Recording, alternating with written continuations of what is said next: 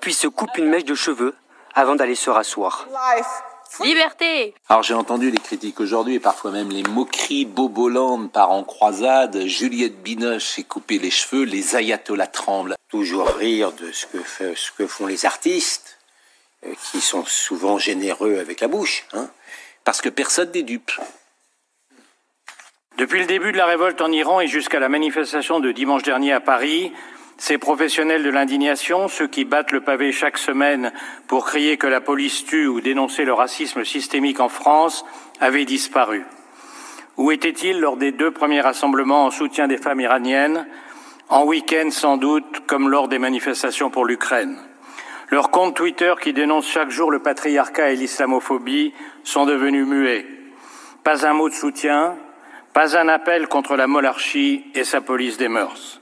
Pendant qu'à Téhéran, les femmes meurent sous les coups et les balles, ils préfèrent dénoncer le virilisme du barbecue, faire l'éloge d'un gifleur ou juger les harceleurs dans des comités de transparence qui sont l'oxymore le plus grotesque inventé depuis la dictature du prolétariat. Quelques-uns d'entre eux ont réapparu dimanche dernier lors du rassemblement Place de la République à Paris. Sans doute. Les Iraniens et les Iraniennes présents leur ont donné une grande leçon de laïcité.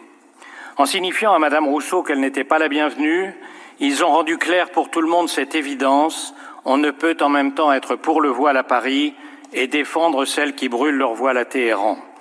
En sifflant Madame Manon Aubry, en sifflant Madame Manon Aubry, ils ont signifié qu'un parti ne peut en 2019 marcher avec les islamistes et en 2022 soutenir les victimes de la République islamiste.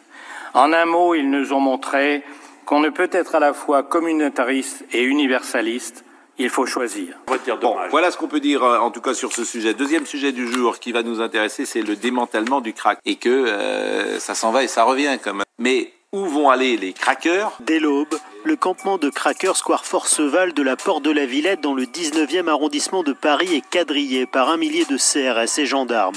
Son démantèlement est imminent, cet habitant est soulagé. Ça peut être une bonne nouvelle, mais on attend le résultat. Est-ce vrai ou pas, l'évacuation totale ou pas? Présent sur place, Laurent Nouniès, le préfet de police de Paris, avait promis fin septembre de fermer cette scène ouverte de consommation de crack.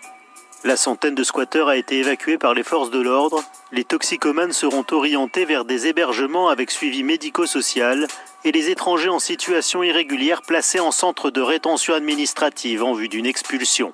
Le service de propreté de la ville de Paris a ensuite procédé au démantèlement du camp à l'aide d'une tractopelle et de plusieurs camions bennes. La maire d'Aubervilliers envisage déjà le futur.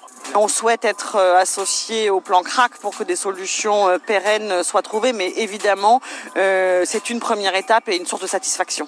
Le ministère de l'Intérieur a assuré que toute tentative de reconstitution d'un camp sera évacuée. Euh, C'est assez faible. Ce soir, il y a une seule personne qui est encore en garde à vue.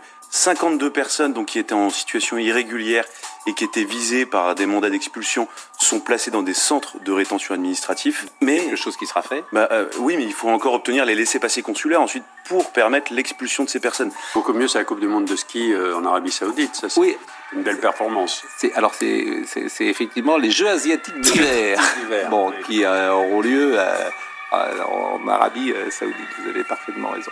Bon,